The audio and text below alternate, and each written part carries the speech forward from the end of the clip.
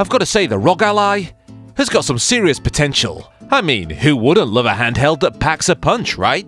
But there are a few things that don't sit well with me, and I know I'm not the only one. I'm going to start with Armoury Crate, which was completely broken on ship. It also didn't have dead zone controls. I had a problem with my right trigger. It just wouldn't detect it like one in every three presses. The Asus drivers for it were really very far behind battery life. I was getting an average, I'm not kidding, of like 45 minutes. So join us as we test out some modifications that could change this from meh to wow. Welcome to Team Pandory.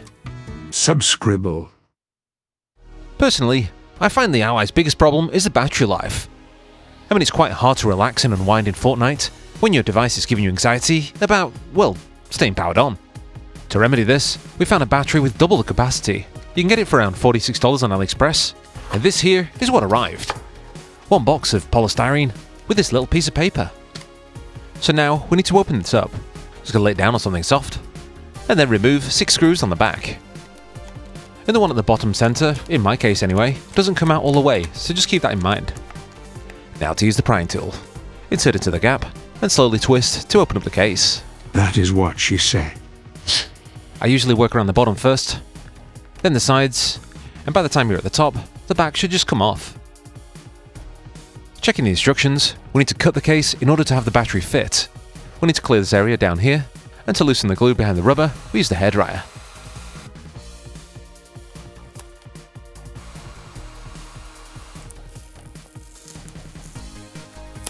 And next, for something that will definitely void your warranty. Oh.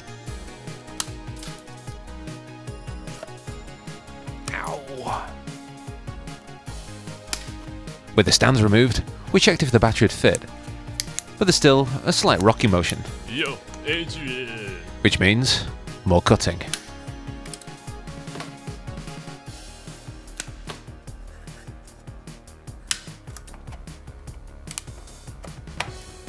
And as you can see, this is a much nicer fit. And the next thing to do is cut a little lower. Cut more? Nah. To get to this point, we need to remove the battery and also carefully remove this cable from it. There's four screws that securely fasten the battery to the case. And then we can take out the battery, revealing two pillars that need cutting. Here we go again.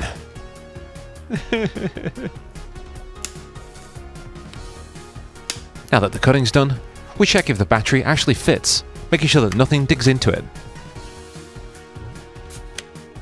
We applied a layer of aluminium foil tape, shielding the internals slightly from heat generated from the battery, and also vice versa. Over the foil we used some Kapton tape to prevent any of the electronics from shorting out. Reconnect the battery by placing it down and securing it with the pin from above. Then we can close the case and give it a try.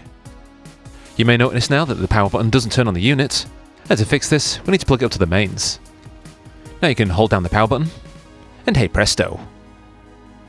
After awkwardly logging into Windows, we can see that the battery is indeed charging. And then unplugging it from the mains confirms to us that the battery is working correctly. We then charged it to 100%, we can compare it to the original battery, and indeed, heavy gains. In performance mode on Fortnite, the original gave us 1 to 1.5 hours, whereas the new one, around 3, making this a must-have mod for the original ROG Ally. Another thing that I noticed while playing Fortnite was that the sticks felt a bit off. We can set dead zone down to 0 on Armoury Crate, and that might help, but the real issue is you need to lower the dead zone within Fortnite itself. Once the left stick and right stick around 5%, this game became a joy to play.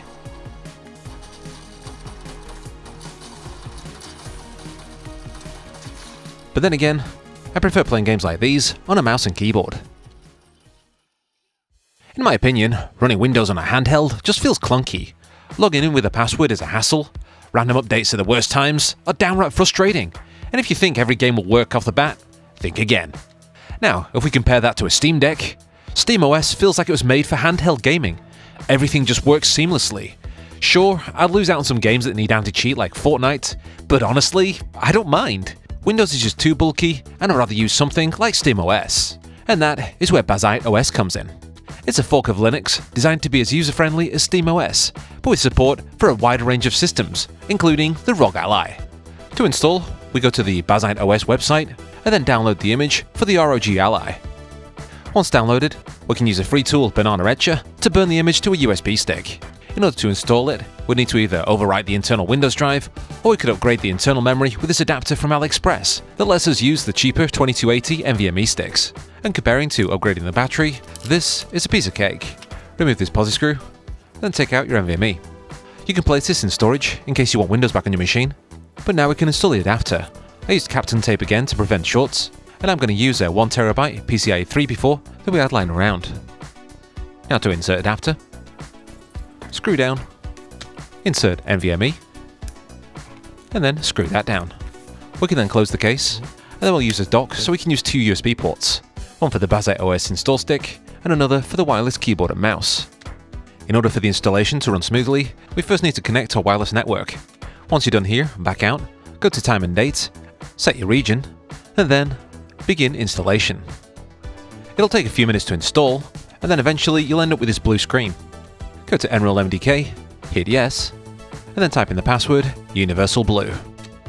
You'll be asked then to choose a language, a time zone, and then you can log into your Steam account. So what we have now is essentially a ROG Ally with SteamOS. We can use the buttons at the back to either bring up the keyboard, or use this menu where we can alter TDP, change fan curve, lights, and things like that. It's pretty neat, and we definitely recommend it for the ROG Ally. If you want to use the old NVMe rather than leave it in a drawer, we can do so with one of these things. It'll basically transform a 2230 PCIe NVMe storage to become an external USB-C drive. Insert at an angle, lay it flat, and then give it a screw. The enclosure also comes with a thermal pad to help keep your storage cool. And that's it, we should be done, right? Well, kind of. As once we plug it in, we can't simply use it. We couldn't even format it. We did, however, find a solution on Reddit. StockBill8436 explains we need to create a few folders, then mount these to be shared with Bazzite. So let's give it a go in the desktop. And once we're in, we'll wipe and format the external drive. To do this, we'll open up KDE Partition Manager. There it is. Then type in the password Bazzite. Next, we'll select the external drive, unmount it, and then remove the partitions. Now create a new partition. At the bottom where it says permissions, press everyone, apply, then apply pending operations. I highly recommend using a wireless keyboard, and the reason for that is we need to use terminal. Here's what to write. sudo mkdir forward slash var forward slash mint forward slash steam. Once you push enter, you'll be asked for the password, which is Bazzite. Once you're done, push enter. On the next line, type in sudo mkdir forward slash var forward slash mint forward slash steam forward slash steam library followed by enter. The next line needs to be slightly altered, and here's what you write. sudo chown bazzite colon bazzite forward slash var mint steam steam library. Then on the next line, chmod 777 forward slash var forward slash munt forward slash steam forward slash steam library. After that's written, push enter, and don't worry, we're almost done. Close the terminal, go back to KDE Partition Manager, use the password Bazzite, right click on the partition, go to Unmount, then right click on the partition, and then Edit Mount Point. For the path, type in forward slash var, forward slash munt, forward slash steam, forward slash steam library, and then hit OK. For the next pop up, hit Save Changes. And that's it, we're pretty much done here. We can now make like a tree and get out of here. Now all that extra space can be used for more games.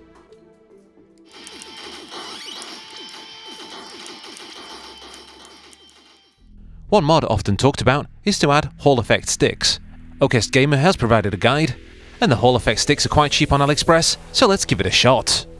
This is what arrived, so let's get cooking. Again, we'll have to open up the ROG Ally, remove the battery for access. We're going to start off with the right stick. First unclip this tab, pull out the cable, and the same for the small one here. With a small Phillips, remove these four screws. And now the stick module can be completely removed from the Ally. We're going to reuse this top thing here, so just pop it off. And as you can see, both sticks are very similar in size, A simple switcheroo should do the trickaroo.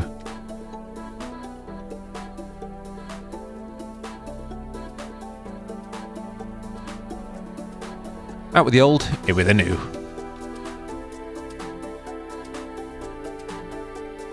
So now that's done, we can move to the other side.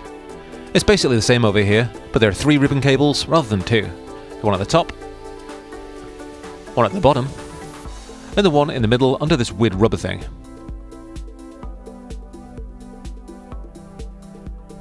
Once out, there are four screws to remove. And then we can remove the module. Similar to the other side, both sticks share the same dimensions, but as the stick is close to the L2 trigger, we'll need to shield it from the other magnet. Okest in his video guide does this by sticking on thin strips of aluminium tape, and then finishes it off by using Kapton tape to prevent any shorts. Should be able to rotate like this. And now for Captain Crunch.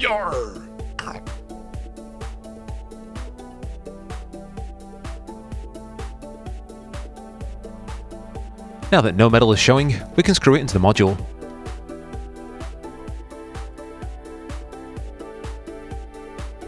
According to the guide, we also need a magnet from the Xbox Elite control pad. Mark on one side, pop the magnet out, and then use tape to attach it to the top part of the Hall effect stick. Then we can put everything back together to see the results. So yeah, we can say that it does work, but if you check the bottom value, it is off-center. It's slightly pulling left. Another thing we noticed is when you push R3, it gets detected as pushing right on the D-pad. Outside that, all the other buttons do seem to work, but using the L2 trigger still affects the left analog stick, and I doubt there's much that can be done to really fix this, other than use a technology that isn't dependent on magnets. We could raise the dead zone settings, but having it anywhere above 5 to 10% will make any stick feel inaccurate. So in our opinion, Hall effect sticks on an original ROG Ally isn't really worth doing. So we restored our sticks back to stock. Mmm, much better. One of the most important modifications is to use a screen protector, and as our ally was used, we actually had a JSAUX matte protector already applied. And these things are excellent. We showed the installation of one of them in our Steam Deck video, and it's still being used today. In the pack we get two screen protectors, the size matches the display, and we get an application guide to ensure it fits perfectly. Moving on to case protectors now, we actually got a Skull & Co one with the used Ally, and we actually like this a lot. We just insert the Ally like this. Once the bottom's in, we push over the top, and that's it. It works as a stand without requiring anything, and it bulks up the area where your hands go, making it feel much better to hold in stock. Here's how it looks in the back. And yeah, good stuff. Another option is the mod case from JSAUX. Concept is very similar to the Skull & Co, but we get front protection too. There's a soft sheet of foam protecting the screen, as well as an area for microSD cards if you require it. Here's the back piece. We also get some straps. Not quite sure of the use, but we might be able to turn the Ally into a watch. As for the use, it is a bit tight to get on, especially around the top trigger buttons where we needed to stretch out the case. But once on, it does its job of protecting the Ally. Much like the previous mod case, it thickens out the handheld to make it more comfortable to play, as well as giving the area at the top a bit of protection. There's a stand at the back, similar to a Nintendo Switch, that gives a satisfying snap as you close it. Using the stand it sits at a good angle, and again, it's much more comfortable to play than stock. And as the plastic is hard, we get full protection for transportation. As for the watch straps, I seriously have no idea. Next up is the mod case from Handheld DIY. It's a replacement back shell that promises lower temperatures, built-in stand, as well as lovely translucent plastics. So in the box we get the shell, a watch strap, and all the bits you need to install. So again, back plate off. And unfortunately, it's not pre-modified to fit in the larger battery. So here we go again. Then once we've flattened the area for the battery, we need to use a small Phillips driver to transfer over the back buttons.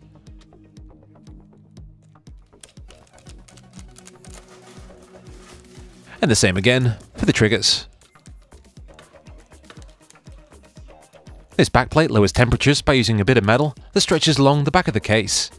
Just going to use a wet wipe to clean this up. And this area here is going to make contact with the included thermal block. Just going to pop it down here. Then continue to close the case. Oh, but there's one more thing. From Handheld DIY, you can get a custom nameplate. So, out with the old, and in with the new. It looks pretty nice. But it would have looked much better in white. The overall feel is very similar to the stock experience, and that can be good as well as bad, as it would have been nice if they made this area around the back rounder and a little larger. As for the stand at the back, it's perfectly functional. And the watch thing, we can actually use it here. Maybe to hold something like mm, a bit of suntan lotion. Yeah. As for temperatures, there wasn't that much of a difference, maybe 2 or 3 degrees. And if you want your device to be cooler, it'd make more sense to use the lower TDP and turn on VSync. If you want to use this backplate with the other mods, we can do that by simply removing the stand. There's only two screws that hold it in. And once completely removed, we can mix and match with the other mod cases. We hope this video has helped you find mods worthy trying on the ROG Ally. Links are in the description down below, and if you have any questions, throw down a comment. A quick thank you goes out to Retro Rob, all of these lovely Patreon members, and you, the viewer. If you'd like to help us out, we have a Patreon and Discord, and maybe check one of our other videos. This has been Imi Chicken of Team Pandory, and I'll catch you on the next one. And this is John Luke. Check my pecs. Right.